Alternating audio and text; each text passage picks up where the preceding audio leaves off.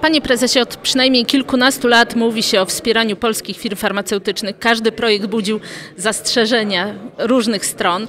W ostatnich miesiącach nie szczędziliście gorzkich słów Ministerstwu Zdrowia, że jeszcze nie ma projektu listy polskich leków, które będą miały korzystniejsze ceny. Dziś się doczekaliście. Czy to jest rozwiązanie satysfakcjonujące? To jest naszym zdaniem bardzo ważna data, bo tak jak pani dyrektor mówiła, wiele lat czekamy na to, na efekt dyskusji. I ten efekt najpierw był w postaci zapisów ustawy, potem były problemy z jego wdrożeniem i dzisiaj mamy moment, w którym możemy podziękować ministrowi Miłkowskiemu i pani minister Leszczynie, że to jest ta chwila i ten minister, kiedy mm, ta lista wchodzi, wchodzi w życie. Ona wejdzie w życie od 1 kwietnia, ona ma dwie fundamentalne zalety. Pierwsza z nich to są mniejsze dopłaty pacjentów, czyli 10-15% w zależności, czy ten lek jest wytworzony w Polsce, czy także z polskiego API. I druga kwestia, zmniejsza się e, ryzyko braków leków, bo jeśli produkujemy leki u nas w kraju czy w Europie, to ryzyko braków e, w sposób naturalny maleje, więc pacjent podwójnie korzysta. Po pierwsze mniej dopłaca, po drugie e, jest pewien, że te leki nawet w momencie kryzysowym dojadą do pacjenta. Przez Ostatnie kilka lat y, rząd zapowiadał i nawet publikował różne projekty, czy wręcz gotowe rządowe dokumenty dotyczące wsparcia między innymi branży farmaceutycznej.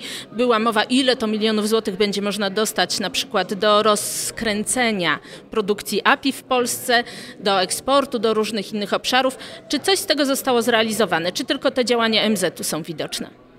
Jest kilka obszarów i one powinny stanowić jedną całość, tak jak pani doktor słusznie wskazała. Pierwsze to jest ta lista, która dzisiaj została zapowiedziana, będzie od 1 kwietnia. Ona powinna i mam nadzieję będzie stymulować do zwiększania produkcji w Polsce, czyli zwiększania naszego bezpieczeństwa lekowego. Druga kwestia to jest, są prace, które toczą się w Ministerstwie Rozwoju odnośnie e, kluczowych substancji, które powinniśmy w Polsce wytwarzać. O, ta dyskusja jeszcze nie jest zakończona, mamy nadzieję, że to się stanie możliwie szybko.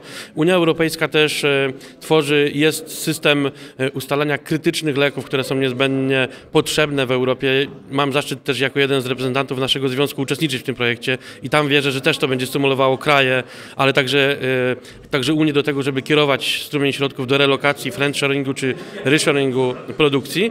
No i to jest, to jest coś, co się fizycznie dzieje. Poza tym jest bardzo dobra informacja, którą pewnie wszyscy słyszeliśmy, czyli, czyli rusza KPO. W KPO jest e, e, komponent D321, który ma szansę wspierać przywracanie chyba nawet może nie samego API, bo być może tego czasu jest za mało w KPO, ale na przykład przy, przy zwiększanie mocy produkcyjnych, zwiększanie linii produkcyjnych w Europie i w Polsce tutaj, zwłaszcza ten komponent, to też spowoduje, że wzrośnie bezpieczeństwo. Mam nadzieję, że on będzie wykorzystany. Nasze firmy są gotowe to zrobić.